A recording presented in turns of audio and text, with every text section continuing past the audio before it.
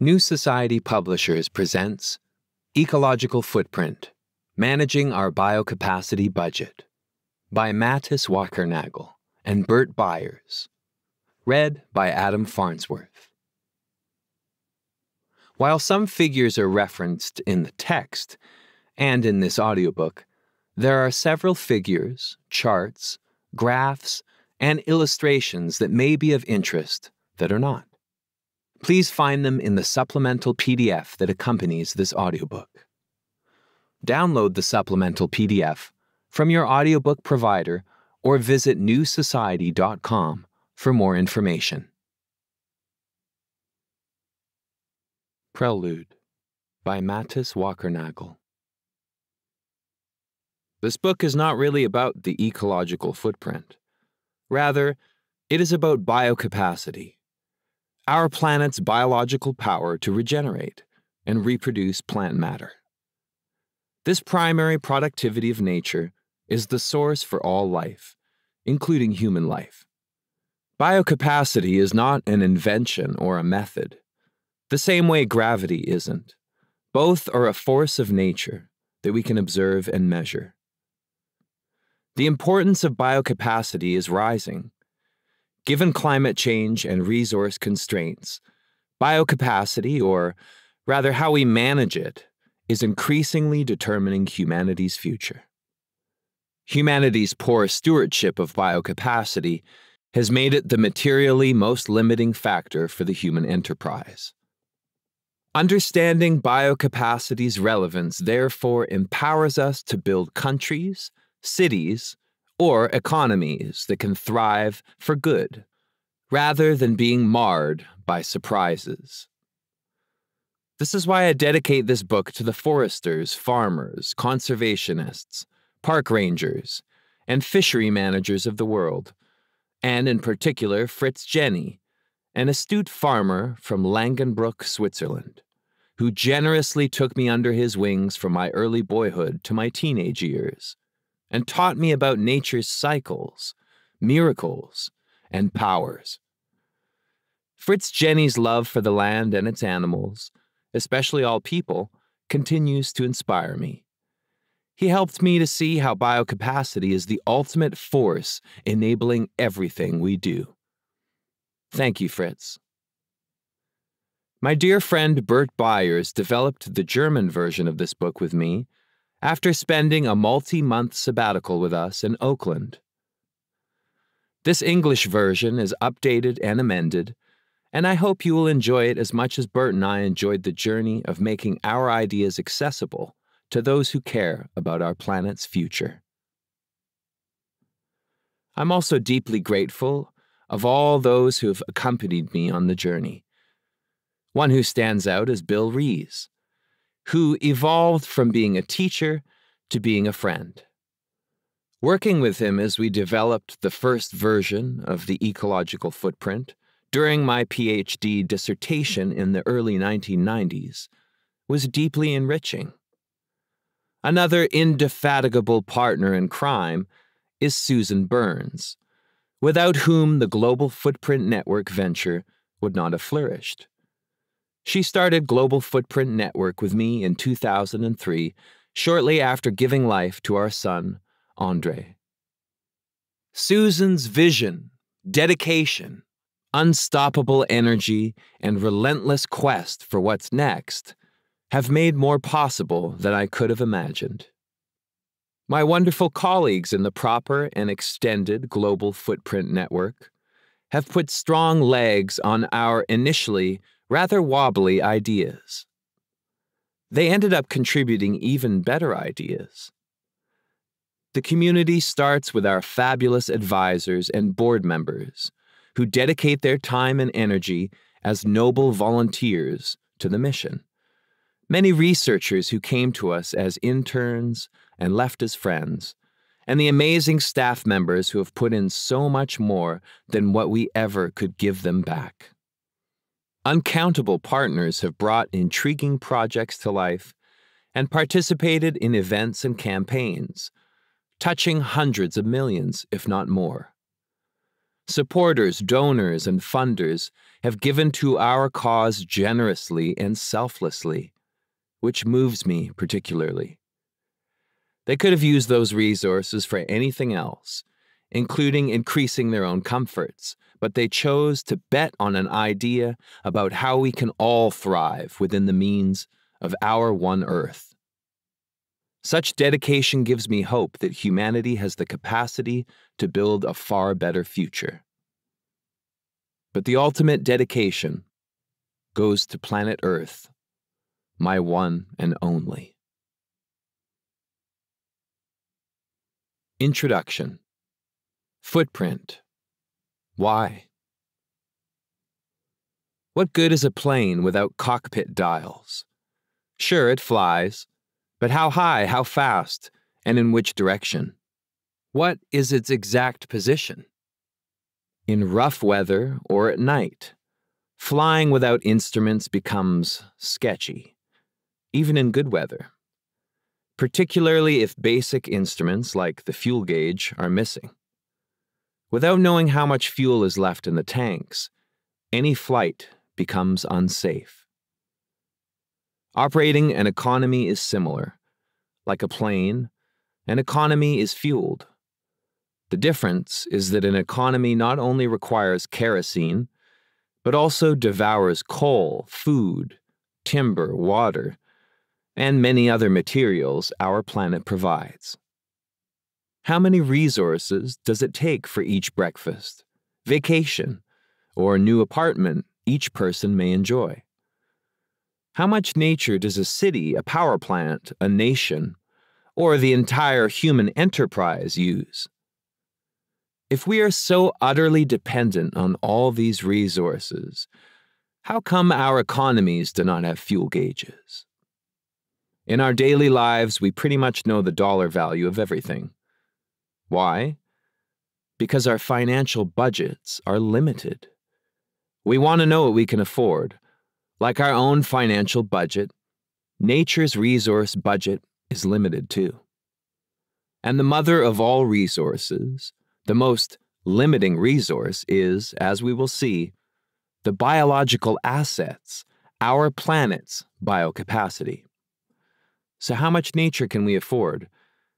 And if indeed nature's budget is limited, why don't we measure it?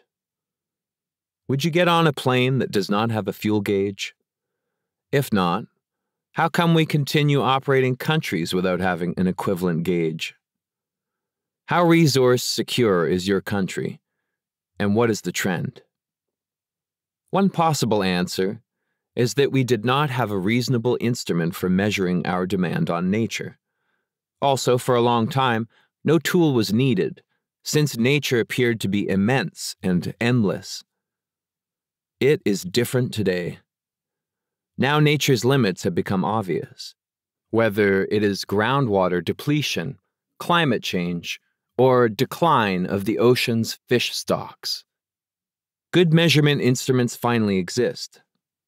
With the ecological footprint, we can measure our use of nature. It offers a basic ecological accounting system. While for the economy money is typically used as the accounting unit, the footprint uses biologically productive surfaces of the Earth as its currency. These surfaces harbor the most significant resource on our planet the capacity of Earth to renew itself. On surface areas, photosynthesis transforms sunlight, water, nutrients, into plant matter over and over again. Therefore, every demand of the economy on nature's ability to produce and renew plant matter can be expressed as the corresponding surface area needed to meet this demand. Yield figures tell us how much cropland, a forest, or grazing land provides each year. This is the demand side of the story. We can also measure with ever greater precision what nature supplies, thanks to modern technology. Satellites deliver us up to date images of our planet. They show where forests, cities, streets, deserts, lakes, pastures, or grasslands are located. Those satellite pictures can be verified by direct measures in the field. On the ground measures track, for instance, how many potatoes or how much wheat is actually grown. At the country level, United Nations statistics provide detailed numbers for most of these resource flows land areas, yields of the various land types, amounts produced and traded, population size, energy use, and so on. Financial accounts always look at two sides income against expenditures, or assets against liabilities. Footprint accounting is tracking demand on nature against what nature renews. It is a basic, straightforward, science based description. How much nature is available? Income. How much nature do people use? Expenditure. To manage the ecological capital of our planet merely on gut instincts does not make much sense. No one would bring their money to a bank that does no bookkeeping. A bank statement gives us an objective financial review, a status report. This is exactly what's needed for the resource situation of the planet at this time. That's the reason why the footprint primarily aims at government and business decision makers. But these accounts also need to be understood by the citizenry so they can hold their decision makers accountable. The ecological footprint adds up all the competing demands on biologically productive areas. They include areas to produce the food, fiber, and timber to accommodate houses and roads and to absorb the excess CO2 from fossil fuel burning. The footprint reveals how much of our planet's productive area is used for each human activity. Complex processes can be summed up in one single number. Similarly, as money gets reported in simple numbers like return on investment or revenue versus costs. This boils complex issues down to their essence and makes them accessible. It allows us to negotiate. The footprint, therefore, is not only a communication tool that is intuitively understood by a broad public. It also serves as a transparent tracking tool to measure the performance of policies and the implications of decisions in public and private domains. The parallels between economy and ecology goes beyond their names. In both domains, mismanagement is characterized by spending more than you earn. Physics and value creation have to go hand in hand. How can the value of real estate expand continuously, even if the actual real estate object does not change? How can we continuously accumulate a huge amount of debt and hope that somehow, sometime, it can be paid off? How can we continuously increase money supply without adding commensurate tangible value? Even Google searches are material, and so are bitcoins, digital photographs, or iTunes. How can we presume that expansion works forever? How can we expect an economy to forever deliver more without expanding the natural capital needed to fuel the economy accordingly? How come we commonly forget that income generation depends on resource availability? According to the latest footprint calculations, humanity overused nature's biological budget, the biocapacity of the planet, by 75% in 2019. In other words, humanity uses nature currently 75% faster than it renews. This overuse is called ecological overshoot. Most estimates predict that the global population will rise from about 7.7 billion today to 9 or 10 billion in 2050. And the residents of the BRICS countries, Brazil, Russia, India, China, South Africa, will continue to work hard to raise their standards of living. And so will many others, in spite of potential economic turmoil. All these forces turn resource security into the central challenge of the 21st century. Some might wonder whether we are in the midst of water, climate, fisheries, or food crises. The answer is that all those crises root in the same cause our tremendous hunger for resources. This becomes evident as we examine the human resource metabolism a bit closer. With rising ecological pressures, everybody from individual to company, city or country has skin in the game, since no one can operate without the availability of sufficient resources.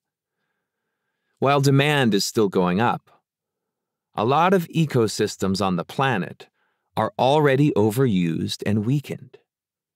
Such overuse destabilizes climate, guts fish stocks, or erodes biological productivity. It threatens adequate access to food and water for all. It might lead to conflicts, migration, economic hardship. The financial crisis of 2008 provided the planet's ecosystems with a little breather. Resource and waste flows did not grow as fast as before. In some areas, they are even declining. But such forced decline is not the goal, because overshoot will end. Peter Victor astutely observes that humanity will only benefit if we end overshoot. By design, not disaster. In other words, how can we decelerate humanity's metabolism without strangling the economy? How do we strengthen our resource security without burdening those who are struggling economically and are left behind? How fast can we end overshoot while ensuring high quality of life for all?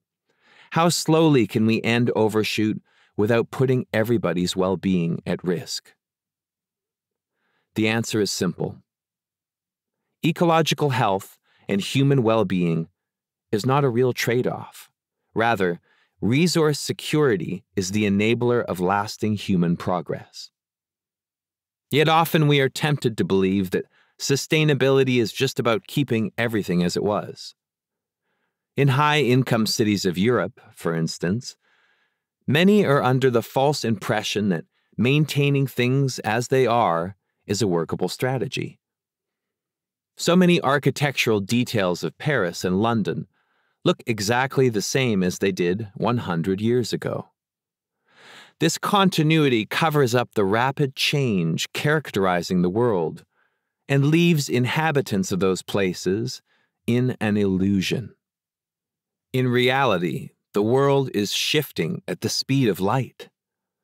Consider, for instance, that just during the lifetime of the authors, humanity has burnt 80 to 84% respectively of all fossil fuels ever used. What portion of fossil fuel ever used was burnt during your lifetime? See the downloadable PDF that accompanies this audiobook for Figure 1.1. What percentage of all the fossil energy ever used throughout human history has been burned since you were born? Here's a scandalous fact about Justin Bieber during his short life, 46% of all fossil fuel ever used was burnt. He was born in 1994. The figures are for 2019. If you read the table in 2020, then go back one year as a first estimate. Two years if you read this two years after 2019. This means for Justin Bieber, the approximate results will be 46% in 2020, 48% in 2021, and so on. During Mathis's life, the global population has more than doubled. The pressure on nature tripled. History is playing itself out at breathtaking speed. That turns one question into our central challenge. How can we all thrive within the means of our one planet? The footprint metric delivers some navigational support. For example, footprints capture cities' use of nature for all it takes to make the city tick food, housing, heat, light, mobility, and waste management.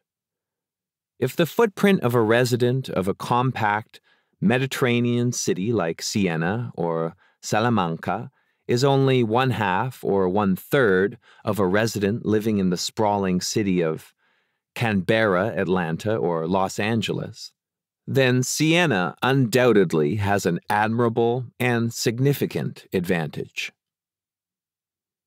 Those who prepare themselves better for a world with resource constraints, or already live in cities with such built in advantage, will have a much better chance to thrive. Those who hesitate to adapt will struggle. Implementing a thoughtful long term resource policy is in your own self interest, whether you are a city, a region, or a nation. It is needed right now. Los Angeles will not become a Siena overnight. Since most of humanity lives in cities, which also concentrate CO2 emissions and consumption, it is cities that will largely define the fate of human civilization in this century. As we shape our cities with every infrastructure update, housing project, traffic policy, the footprint can help to make investment choices fit for the future. Let's look at traffic, for example. As complex as the discussion about buses, trains, and cars, connection, and steering of the systems may be, the footprint reduces all this information to one single number the required biologically productive area to fuel these systems. That's something one can work with. The footprint, thus, isn't just a measurement, but also a management tool. Human cities and communities need to ask themselves where do we get our energy from? Our food? How much do we use compared to our competitors? How much do we use compared to that available per capita in the world? A recurring topic is efficiency. Are we already using all our possibilities to live better with fewer resources? For regions and countries, the supply side, their biocapacity, as well as their resource management, is at least as critical. What is our resource base? How much biocapacity is in our territory? Using more biocapacity than available within the boundaries of our country pushes us into biocapacity deficit spending. In contrast, having more biocapacity available than we use leaves that country with an ecological reserve. The more countries and regions know about their biocapacity balance, the stronger their ability to guide and accommodate the radical change that will become part of our landscape. There is no doubt the tightening competition for our planet's biocapacity will be a major challenge in the future. The economy is embedded within nature. It is a wholly owned subsidiary of the biosphere. All material ingredients come from Earth, and all used up materials that are not recycled are returned to Earth. Therefore, Earth's regenerative capacity is the materially most limiting factor for the human enterprise. The message of the footprint is we can measure not only the availability of nature, but also human demand on it. Knowing both sides gives us the full picture of our ecological foundation and empowers us to manage our destiny. It's a practical tool for those wanting to prevent ecological bankruptcy in the 21st century. The footprint is a descriptive indicator. It can monitor the course of events and show whether the chosen path is producing the hoped for success or not. Footprint numbers are also free of moral preconceptions or imposed values. They don't tell anybody what they should or shouldn't do. They empower us merely to consider how much biocapacity is available, how much we use, and who uses what, and what the implications might be for us and others. At the end of the day, footprint analysts are motivated by the idea that thriving lives for all are possible within the means of our one planet. Pooran Desai from Bioregional calls this one planet living. Ultimately, we cannot escape the fact that humanity, with all its activities and in all areas of life, is part of nature. It is a dependency we cannot break.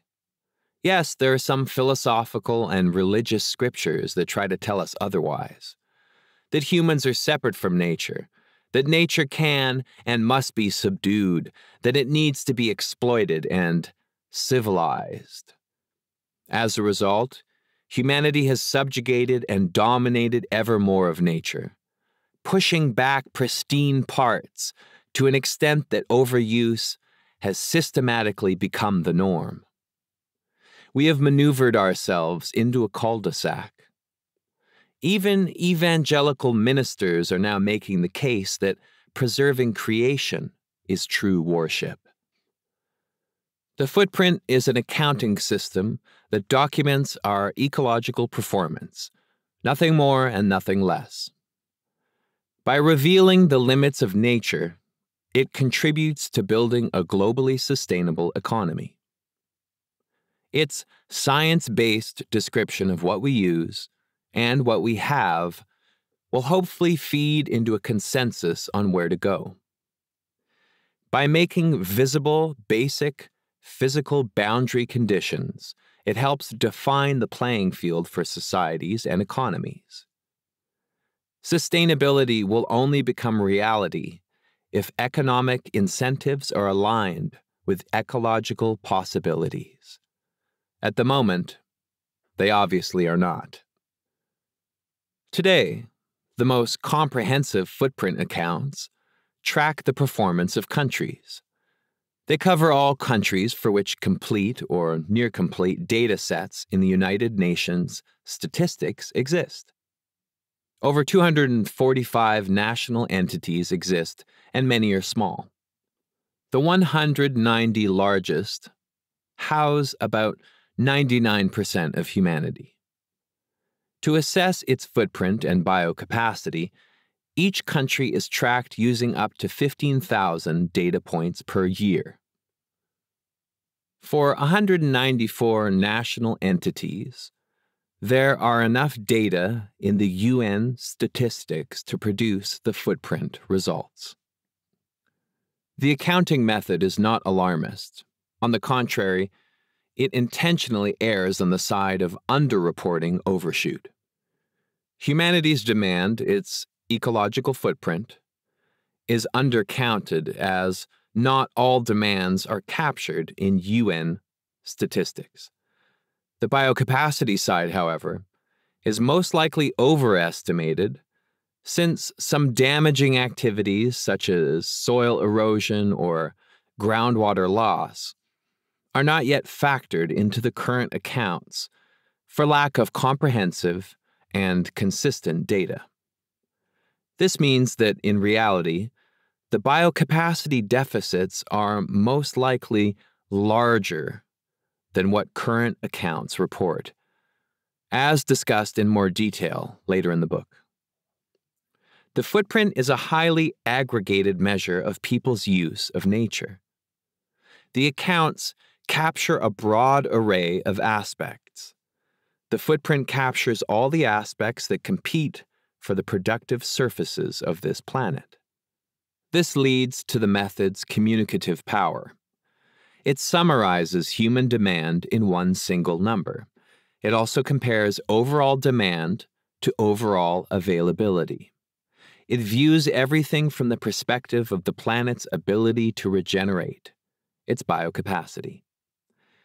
For instance, the use of fossil fuels like coal, gas, and oil is also included in terms of the biologically productive area, such as the forests, needed to absorb the resulting carbon dioxide emissions. Absorption of those greenhouse gases is one of the competing demands on the planet's biocapacity. There are trade offs. Simply explained, we could either absorb more carbon dioxide or grow more carrots. The footprint is not the only ecological indicator. It does not claim absolute coverage, nor a monopoly. It rather focuses on one specific, yet fundamental question. How much of the biologically productive capacity of the planet is being used to power the human enterprise? For other relevant questions, other methods are needed like the different navigational instruments in the cockpit of an airplane, which are complementary to each other. Ultimately, we need a few clear and robust metrics that are simple to understand and can be used by many. We need a common currency that bundles the complexity of human dependence on nature and makes choices comparable. This is the footprint's ambition. The footprint framework affirms human vitality and aspiration. People want to live and live well, but to thrive depends on how humanity will manage its ecological home. The challenges are considerable. They require us to employ all creativity and ingenuity we can get. In this context, the footprint is a decisive tool to provide foresight and to unleash our intellectual and innovative power. Who is behind this effort? Mathis Wackernagel and William Rees conceived the footprint in the early 1990s at the University of British Columbia. The method has evolved and been deployed widely by hundreds of cities, over a dozen countries, uncountable institutions, as well as international agencies, such as the European Commission, the European Environment Agency, the International Organization of La Francophonie, and the United Nations, including its Convention on Biological Diversity. Global Footprint Network, with headquarters in Oakland, California, was established in 2003 to steward the methodology, develop standards, advance the accounts, and find novel applications in collaboration with partner organizations around the world. In 2018, Global Footprint Network joined forces with York University in Toronto, Canada, to build a global academic network that will host and maintain the national footprint and biocapacity accounts as an independent, public benefit venture, thereby improving accessibility, independence, and robustness of the results. In 2005, Global Footprint Network set itself the goal to have at least 10 national governments officially test the footprint before 2015. In 2012, the Philippines and Indonesia became country number 10 and 11. More than 12 national government agencies have tested the footprint already. they mostly concluded that the accounts adequately reflect their reality. There's still a long way to go. Switzerland, for instance, held a referendum on the ecological footprint in September 2016, where its citizens were asked whether Switzerland should strive to reach a footprint by 2050 that could be replicated worldwide. Currently, it would take over three Earths if everybody on the planet lived like the Swiss. A breakthrough would be to have United Nations agencies adopt the footprint broadly and contribute to its improvement, standardization, distribution, and application. Imagine if the world community realized that we need an instrument to measure our physical dependence on our planet, in the way that GDP measures economic activity. Our dependence on nature needs to be measured in physical units. This is not unprecedented. Not everything in public policy is measured in financial units. For instance, we don't measure unemployment, longevity, or population size in dollars either. There are significant options for shaping our various pathways. Even more so if we have access to the most relevant information and ideas and possibly most importantly, the courage and wisdom to implement them. Here's the good news the footprint doesn't make our life more difficult. It enables us to make our cities and countries livable, and our successes long lasting. If you accept physics, knowing the biocapacity of one's own country and managing its footprint will be as important in the future as financial accounting already is today. Knowing biocapacity is beneficial, as it is helpful to know about gravity. Knowing gravity still does not make it easier walking uphill, but it helps us build more robust houses and stronger bridges. Knowing about biocapacity and having robust footprint accounts works for us. It gives us foresight and enables us to build a future that serves us all. Part 1 Footprint The Tool Chapter 1 Area as Currency How much biocapacity does a person need? Everyone, big or small, has an ecological footprint. How much nature people need depends on what they eat, how they dress, what their home is like, how they move around, and how they get rid of their waste. All of that can be measured. The resulting data allows us to determine the area of biologically productive land and water that is required to grow food, produce fiber for clothing, build houses to shelter people, and absorb their waste. We can measure the carbon dioxide from burning coal, gas, and oil. In the end, we all live on what the global farm provides, and we can accurately measure what the farm provides and what people consume. Everyone understands money. People with money have more options and possibly fewer worries at least material ones. Those with enough money can live how and where they like. Everyone welcomes them. As long as they can pay, no one will show them the door. We can do many things with money. For example, we can compare things. Money also tells us how much everything costs. Once we know the prices, we can relate them to our income. How long do I have to work so I can afford this mobile phone? How much do I earn compared to my expenses? Compared to last year?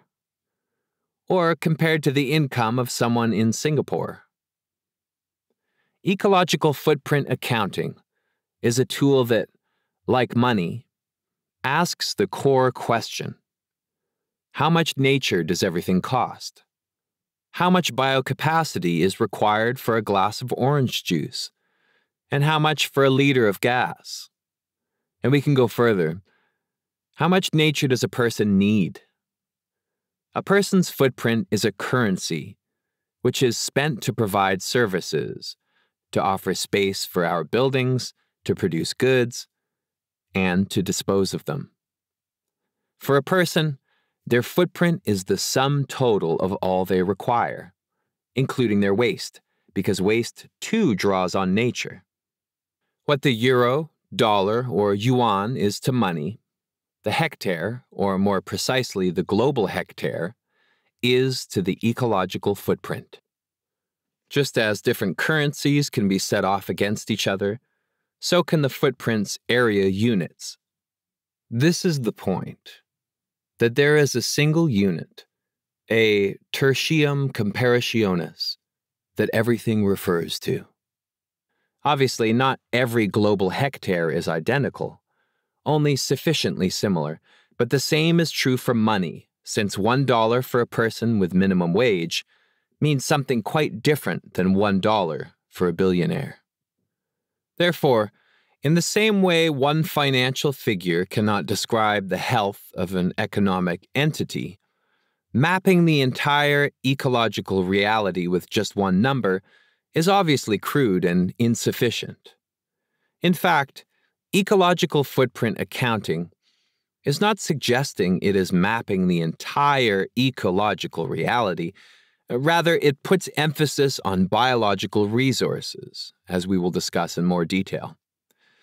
The reason is that biological resources are materially more limiting for the human enterprise than the non renewable resources like oil or minerals.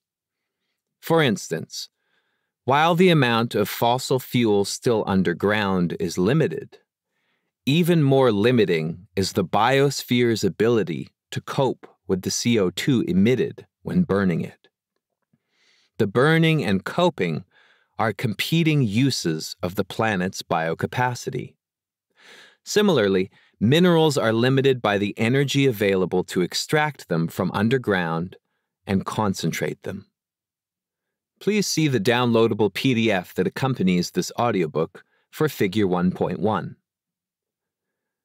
Ecological footprint in global hectares per person by country.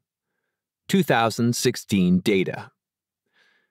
In 2016, the world's biocapacity averaged 1.63 global hectares per person. Credit Global Footprint Network, National Footprint and Biocapacity Accounts, 2019 edition. Data.footprintnetwork.org. How the footprint works. Just think of a farm the productive area of a farm is the farm's biocapacity. What it can produce is determined by the area, as well as the productivity of each acre. In the U.S., pastures are sometimes measured in cow calf acres. How many cow calf pairs can be maintained on one acre? It is both the area and its productivity that counts. The ecological footprint estimates how much farm it takes to produce what we consume, including everything we eat, all the fiber and timber we use, all the space to house our roads and buildings, and to absorb all our CO2 waste from burning fossil fuel. There is competition for our farm's productive areas as a farmer can't graze cows where she places her house and can't plant tomatoes where she builds her pond. A farm family may want to know how hungry they are for food, materials, heating fuel, compared to what the farm can provide.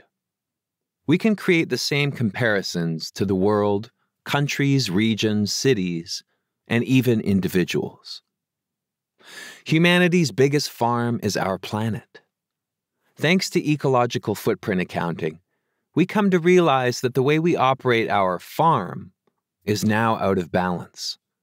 As our collective demand exceeds by at least 70% what our planet's ecosystems replenish. Nature can make up for the difference by depleting stocks. Examples are cutting timber faster than it regrows, emitting more CO2 than the planet's ecosystems absorb, pumping up more groundwater than is being recharged, or catching more fish than restocks. This business model only works so long, whether for farmers or humanity as a whole. Since biology and area are interconnected, ecological footprint accounts take areas of biologically productive land or water as their measurement unit. As we will see, such a simple unit makes communication more accessible and our situations more understandable. Prices allow people to communicate with others about the high or low cost of a good. The footprint enables us to have productive dialogues about the different ways we consume nature, about high or low consumption, about its impact on this or that ecosystem. Summarized as one single number, the sum of all of our demands on nature. Let's visit a department store. Just as the goods on offer carry price tags that identify their monetary value, and just as food products come with information about nutrients and ingredients, all products could come with an additional number that identifies the biocapacity that has gone into the product. The front of the price tag would tell us what we must pay while the back would tell us how much nature was used. A block of cheese, a pair of jeans, a holiday trip, everything can be measured in biocapacity. What size of area is required to provide this product or service? For cheese, it is mainly the grazing land a cow needs to produce milk, and of course the energy needed to turn milk into cheese. For jeans, it is the cotton field Trips are enabled by many things from aviation or car fuel to electricity for the trains, food maintenance, and cleaning of the hotel and washing of the linen. For many city dwellers, electricity may seem to come magically from the socket, and milk from a carton. But behind everything we use, there is a piece of nature. Here, too, we have a parallel to money. As long as we have enough, all seems well, and we take it as a given. But what if there isn't enough? To have no biological capacity feels not that different from having no money. If, for example, you're stranded in a foreign city without cash or credit card, what will you eat? Where will you sleep? What would happen if nature all of a sudden could no longer provide its wonderful services? if there wasn't enough water to support life and economic activity in the first place? What if the ocean's fishing grounds shrank or even collapsed while demand for fish continued to rise and fish became rarer and more expensive? What if the fields in one's backyard couldn't produce enough to sustain one's family and people, like many in rural Bangladesh? didn't have the money to buy additional food? What if the forests and oceans one day all of a sudden no longer absorbed carbon dioxide, but instead released the gas they had stored into the atmosphere? What then? Money is our core economic measure for assessing value. But money can do more than simply measure value. It is also a means of payment and, as such, gets passed from person to person. The footprint can't do that. We can exchange the fruits of biocapacity, for example, by importing timber and exporting meat. People or trade statistics may not recognize that, since it is not actual footprints units that get traded. Rather, we can measure the footprints of timber and meat that is traded. Money is also a kind of storage system for one's assets, as in a savings account or a portfolio, but that too is different from the footprint. Nature's assets always exist in nature itself, and the footprint, as an accounting method or a code number, only measures and identifies them. Whereas money is recognized, if not idolized, as valuable, nature's capital is undervalued. We behave as if nature were infinite and inexhaustible in its provision of riches to humanity. In the long term, however, it is nature that is the most valuable asset, whereas money is just a symbol. Of course, things exist that we cannot buy, such as true love. We cannot assign it a monetary value. Another example is the atmosphere. People have developed the habit of treating our atmosphere as a free garbage dump for their emissions. As with money, there are areas where the footprint does not apply. A rock, for example, has no footprint, it simply is, and its existence requires no measurable consumption. Animals, on the other hand, do have a footprint. They breathe, drink, and feed, consume biocapacity, and hence area. A fish eaten by a seal is no longer available to us, or only indirectly when in turn we eat the seal or use its pelt. How much biocapacity do we need? In order to eat, to clothe ourselves, to build our houses and heat them, also to travel and to transport any goods, we need the supplies that nature provides. In the process, we leave behind solid, liquid, and gaseous waste. Nature has to cope with that too. As we move through the world, we leave behind our footprint. Some of us tread with heavy steps, while others have such a small and light step they hardly touch the ground. But every human being, big or small, leaves a trace as long as they live. It is this trace that the footprint metaphor refers to. The ecological footprint measures not only the demands an individual puts on nature, but can equally be applied to the population of cities, nations, or humanity as a whole. Let's take fossil energy as an example. Since the Industrial Revolution, we have availed ourselves of massive amounts of nature's resources of coal, oil, and gas. When in fact, these are non renewable resources, or to be more precise, resources that renew themselves only over enormous periods of time. We extract them from the Earth's crust and bring them to the surface and hence into the biosphere. For footprint calculations, the amount of coal or oil underground does not enter into the equation. After all, these materials are not part of living nature, but came to be over millions of years. In that sense, they are assets more like a piece of gold or a painting by Picasso. Also, they can turn out to be rather plentiful compared to what the biosphere can handle. It is by using coal or oil that we consume nature, and this consumption is what footprints measure. When such quantities of fossil energy are burned, carbon dioxide is released. And then our biosphere has to cope with that because this is new carbon dioxide that previously was not part of the natural cycles. To prevent an increasing concentration of carbon dioxide in the atmosphere that will lead to a long term destabilization of our climate, that additional carbon dioxide should be removed.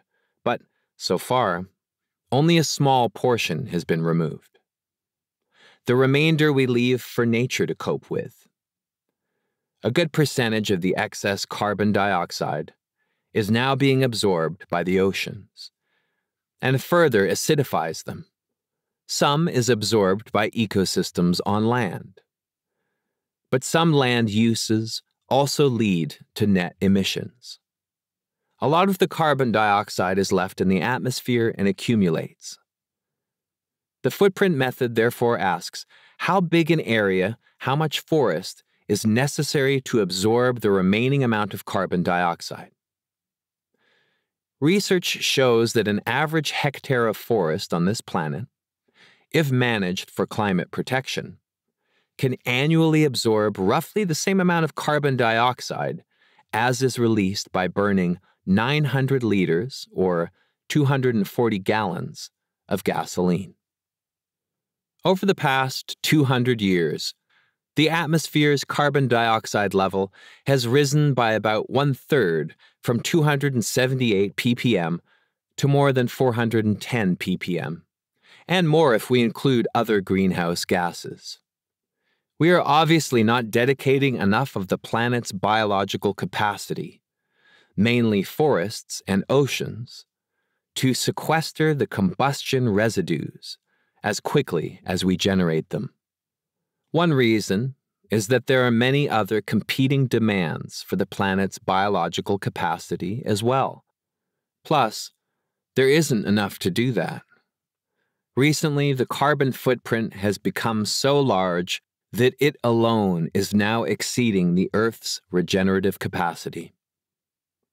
Still, if we deploy area to sequester more carbon dioxide, we could have considerably less biocapacity left for other purposes, such as the production of food, fiber, or fuel wood, or the creation of urban areas.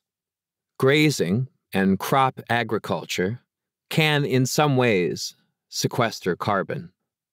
We can point to promising experimentation, but the experiments have not yet scaled. Maintaining yields while also sequestering carbon dioxide would show up as a very welcome increase in biocapacity. The situation is similar with other non regenerative resources, such as steel, copper, or minerals. These materials are indirectly connected with the living part of nature. We extract most mineral substances from the Earth's crust. Extracting, concentrating, and processing them puts demands on living resources. Since the footprint accounts for impact on living resources, metals and minerals are included in terms of the biocapacity it takes to mine them, and the energy used for extraction, transport, and processing. This is the demand metals and minerals put on nature. And that, in turn, brings us back to carbon dioxide and to the biocapacity required to store carbon through photosynthesis in solid biomass. Put differently, mineral substances and ores are valuable assets like gold or shares, but in contrast, they consume additional energy to make them available to the human economy. That energy, too, requires biocapacity. For a long time, most people paid attention primarily to the non renewable resource aspect of natural capital. People recognize that the supply of fossil energy sources, as well as of ores and minerals, is ultimately finite that they will sooner or later be exhausted, and that certain resources are left only in low concentrations, making it too hard to extract them. This concern is understandable, given that industrial processes depend on such materials. Indeed, some of these materials have already become rare. But recently, we have come to realize that renewable resources, with their life supporting functions, are even more scarce, and that even though they can be replenished, they can also be depleted. Renewable resources, forests, fish stocks, wetland, can be entirely used up through overuse. This happens eventually when people exploit renewable resources faster than they can regenerate. Please see the downloadable PDF for Figure 1.2. Biocapacity in global hectares per person by country, 2016 data.